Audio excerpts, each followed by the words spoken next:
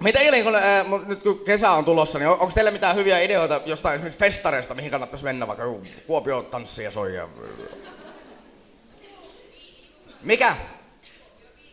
Kuopion viinijuhlat. Onko siellä sellainen kova rockimeininki?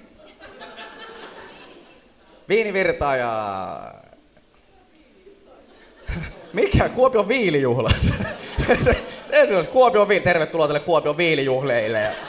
Joo, ei, sorry, ei voi tuoda omia maitotuotteita ollenkaan sisään. Että jätetään ne kuule tänne monttuun ja sitten myydään niitä sitten puoleen hintaan Sivassa syyskuussa. Ja täältä näin osta tässä Bulgarian jogurttia 12,80 13 litraa. Ja... Iisalmessa on hyvät bileet. Mitkä siellä muuten? Onko siellä ne Vaskitsa-viikot vai? Mikä?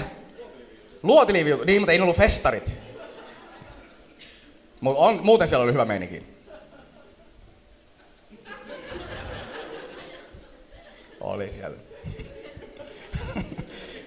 Mistä mä puhuin? Niin, niistä festareista. Niin, tota, äh, koska joku on sanonut, että kannattaa mennä tuonne Joensuuhun Ilosairokkiin. Mä en oikeasti tiedä, koska mä olen käynyt moneen vuoteen yksillä, yksilläkään festareilla ja nyt mä oon mietitty, että jonnekin mä menen. Ja koska oikeasti viimeinen kerta, kun mä oon käynyt äh, festareilla, ollut vuonna 95 Messillä juhannuksessa. Ei edes Jarno, me ollaan tavattu. ja oikeasti ainut, mitä sieltä on jäänyt mieleen,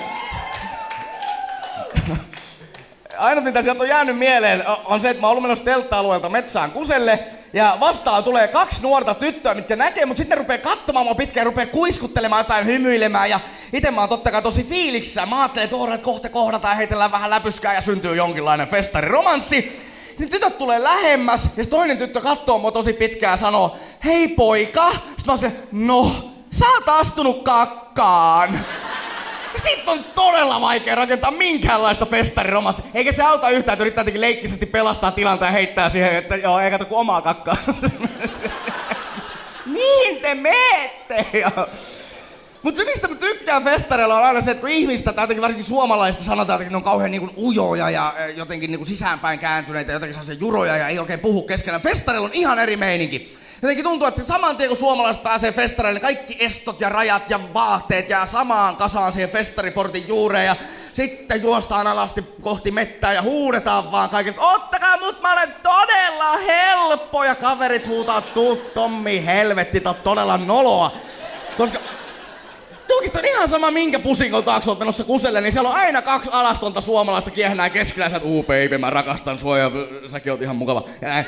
Koska Oikeesti tuntuu, että ei ketään kiinnosta, mistä joku on kotosi, minkä ikäinen se on, minkä niminen. Ehkä aamulla, kun herätään samasta teltasta, niin saadaan kysyä, että moi moi, mikä sun nimi on? Mä oon Tommi, no terve, mä oon Timo, oli kyllä helvetin kiva yö. Ja... ja... Se olisi ollut ehkä hauskempi, kun mä olisin liittänyt Jarnon siihen teltaan. mä en keksinyt.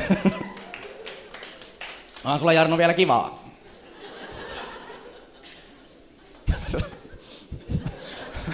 Kyynel valuu poskella ja päässä soi sisäisesti Bon Jovi Always.